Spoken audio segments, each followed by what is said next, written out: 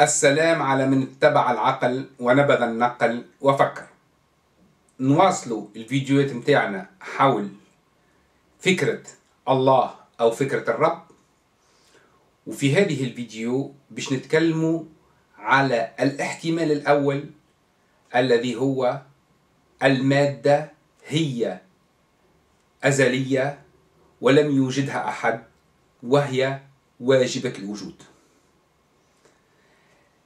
قلنا في الفيديو قبل هذه أن السؤال الذي يطرح واللي يطرحه الإنسان من أوجد الكون توصل الإنسان بالتخمين والتفكير والتفلسيف والعلم إلى ثلاثة احتمالات.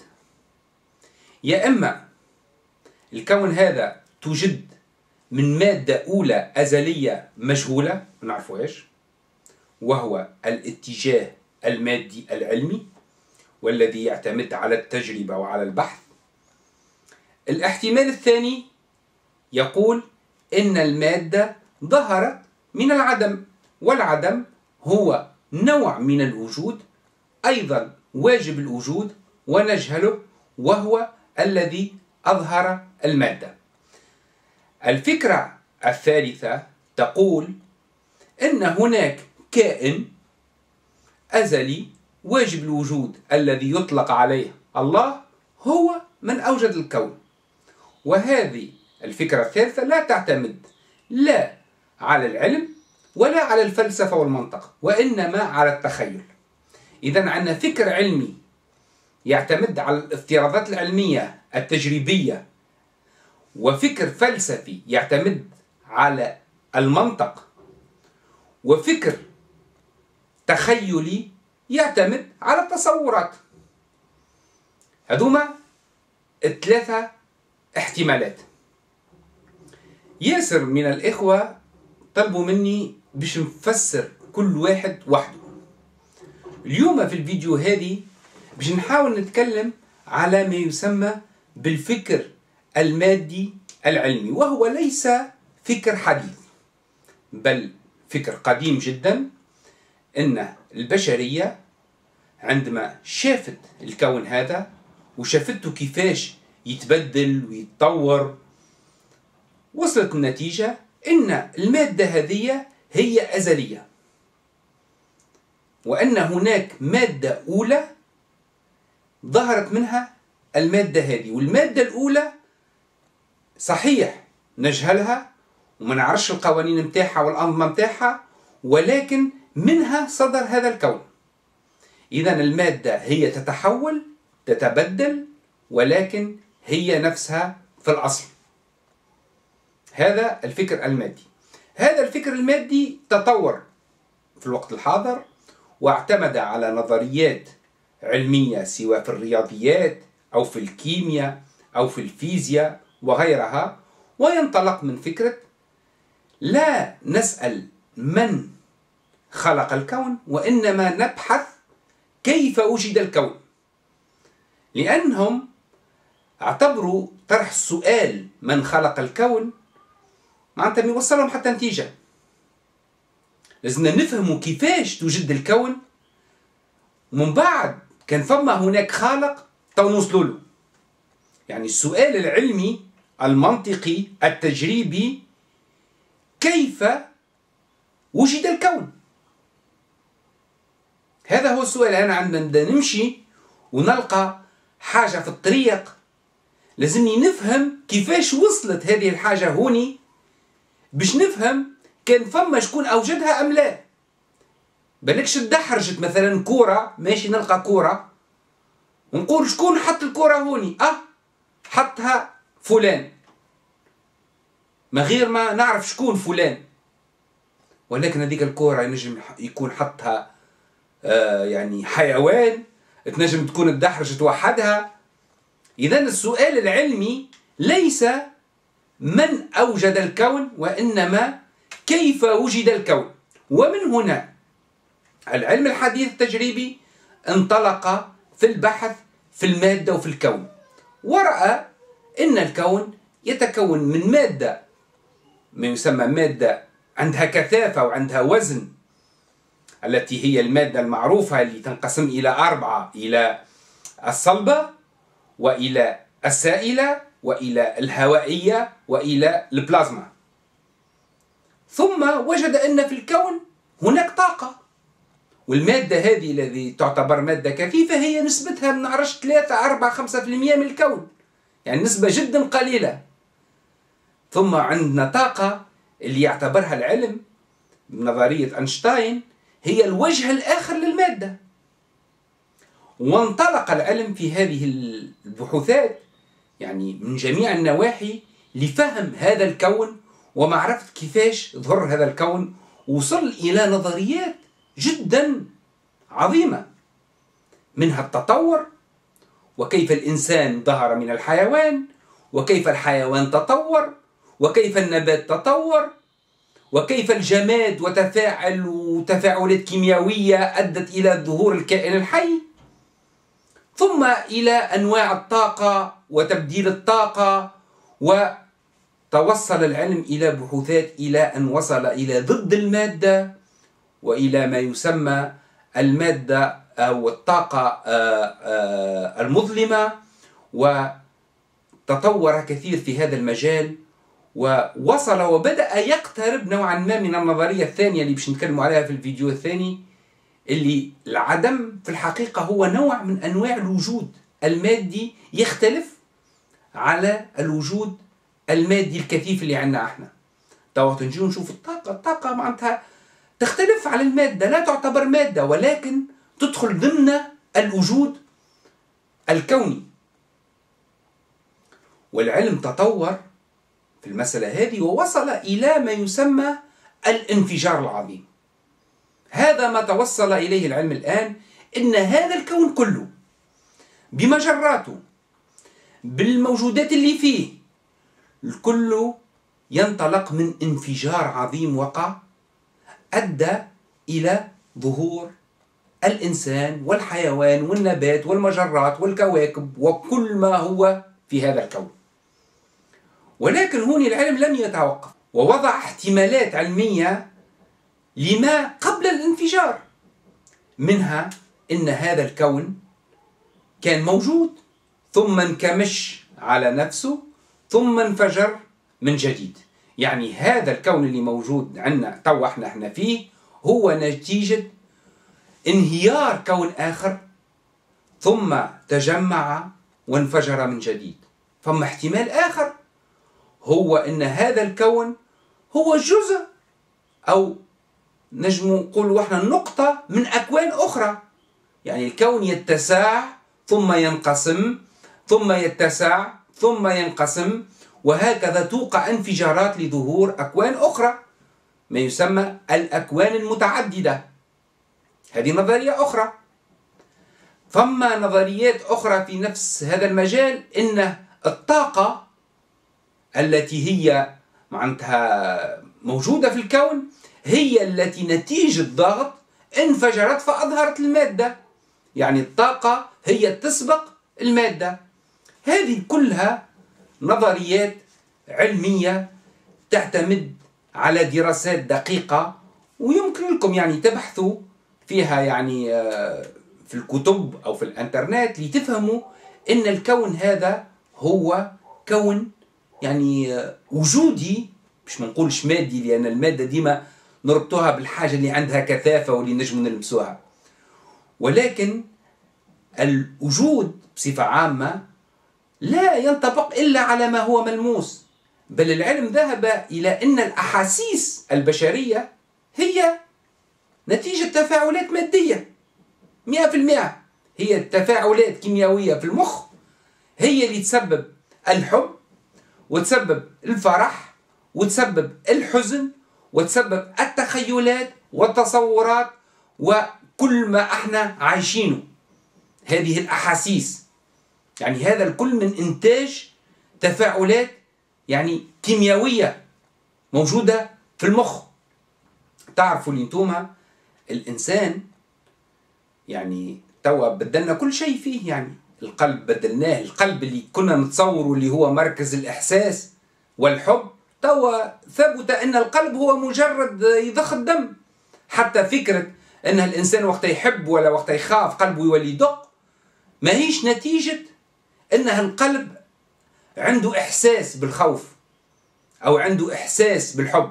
لا نتيجة تفاعلات كيميائية في المخ اللي تسبب معناتها سرعة جريان الدم اللي تسبب معناتها سرعة دقان القلب واللي إحنا نسخايبه اللي القلب هو مركز الشعور أو ما يسمى بالفؤاد أو الكبد وغيرها. توا الكبدة نجموا بدلوها والقلب نجموا بدلوه وكل شيء نجموا بدلوه بقى إلا المخ.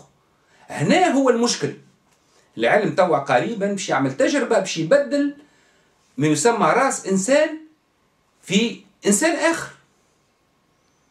وهوني التجربة هذه يعني نجحت على الحيوان كان تنجح على الإنسان سوف معناتها تعطي انتصار كبير للعلم المادي الذي يؤمن بالمادة. كما قلت لكم يعني حتى الحب يعتبر مادي حتى الكره يعتبر مادي هو تفاعلات كيميائية لا أكثر ولا أقل وكل شيء موجود في المادة. هذا الفكر الذي يقول إن الإحساس والشعور والتفكير كله صادر من المادة. ليس شيء خارج عن المادة أو منفصل عنها كما تذهب ما يسمى بالفلسفات الدينية أو الأديان وهذاك نتكلم عليه. إذا لو أخذنا زوز أشخاص ونحينا رأس هذا وحطيناه في هذا ونحينا رأس هذا حطيناه في هذا وهذاك الإنسان بعد لا تنجح العملية يتكلم سوف نفهم كان الإحساس والشعور والفكر والذكريات موجودة في المادة ولا منفصلة عن المادة. المسألة بسيطة جدا. ناخذ زوز كمبيوتروات. كمبيوتر في خزان معلومات بالفرنسية وكمبيوتر في مخزون معلومات بالإنجليزية. وقت نبدل مخزون المعلومات هذا في الكمبيوتر هذا ونبدل مخزون المعلومات هذا في الكمبيوتر هذا هذا يولي إنجليزي وهذا يولي فرنسي. هذا المنطق. اذا المعلومات موجودة في وسط هذا المخزون اللي إحنا نخزنوا فيه المعلومات. نفس الشيء بالنسبة للعقل أو بالنسبة للإنسان. الإنسان إحنا توا عرفنا اللي المعلومات والمشاعر والذكريات والحب والكره موجودة في المخ متاع الإنسان. لو ناخذوا جزء من الناس واحد فرنساوي مثلا وواحد إنجليزي ونحينا راس هذا حطيناه في هذا ونحينا راس هذا حطيناه في هذا هنا لو هذا ال هذا الانجليزي يولي فرنساوي يولي يتكلم بالفرنساوية يولي يتذكر الذكريات اللي عاشها في الجسم الآخر.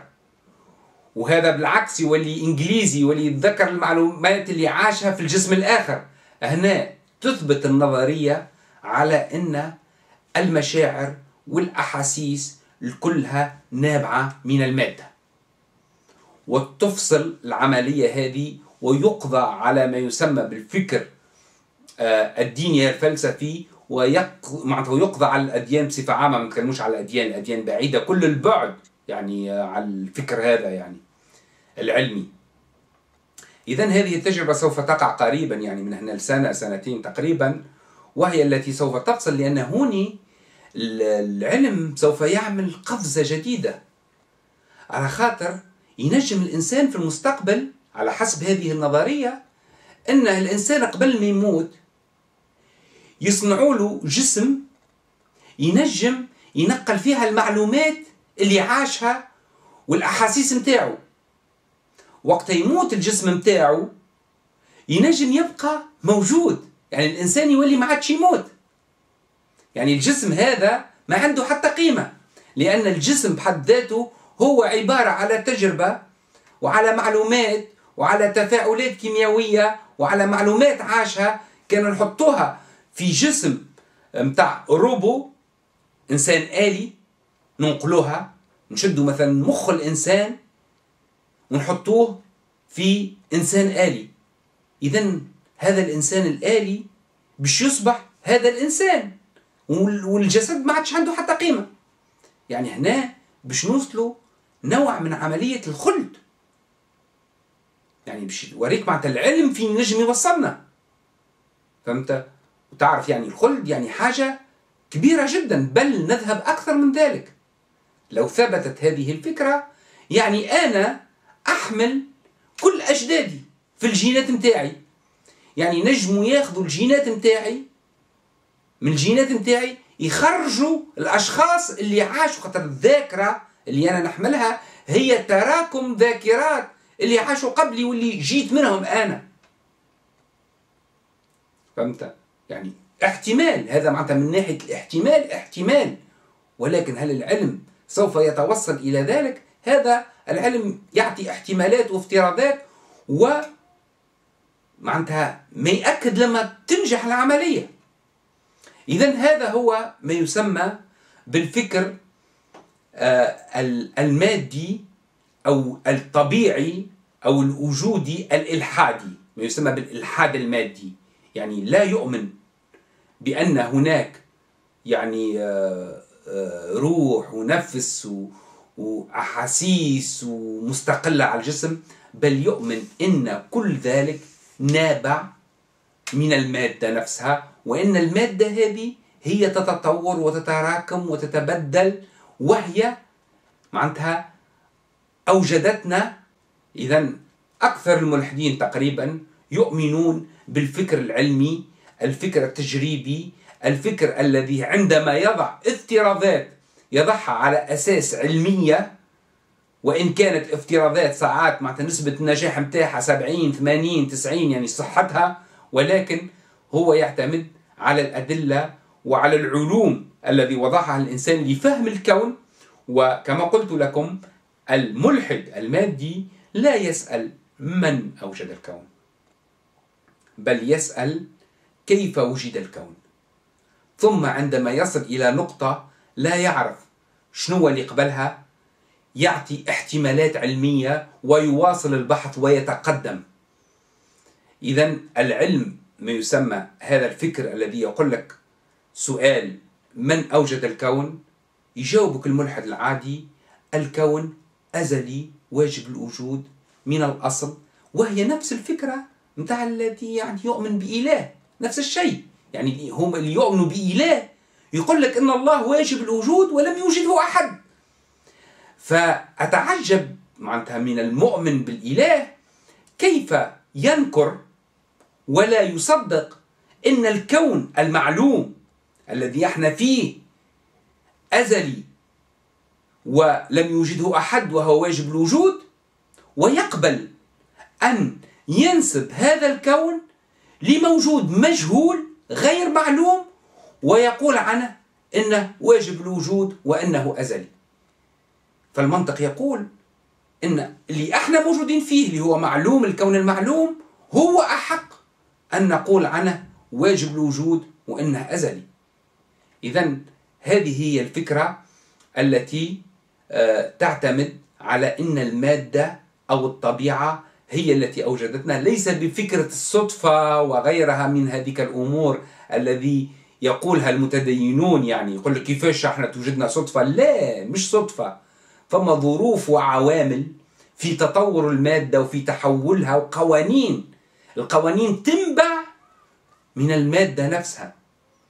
فهمت؟ ولا بقاء إلا للأفضل وللأصلح. من هو غير صالح يذهب وينتهي؟ وهنا أجيب على آخر سؤال هو من يسير الكون؟ إحنا قلنا في الفيديو اللي قبل هذه أن الاحتمالات يا إما من أوجد الكون سواء كان المادة أو العدم أو إله هو اللي يسير الكون أو هذا الذي أوجد الكون وضع التسيير داخل المادة نفسها. يعني المادة تسير نفسها بنفسها نتيجة أنه هو من الأول برمجها على أنها تسير نفسها أو أن هناك موجود بين الموجودات نجم نقولوا إحنا مخلوقات فضائية هي التي تسير الكون بالمفهوم آه يعني العلمي أو ملائكة بالمفهوم الديني فهمت؟ أو آه، روح الكون بالمفهوم الفلسفة الدينية هي اللي تسير الكون يعني هذا هو معناتها الاحتمال آه، الثاني يا أما الخالق هو الذي يسير يا أما هناك واحد موجود أوجده ويسير وإما التسيير يوقع من الداخل. وهنا الفكر المادي آه، العلمي يقول إن المادة فهمت؟ فيها هي تخلق النظام بتاع التسيير متاعها مع التطور متاعها مع التحول متاعها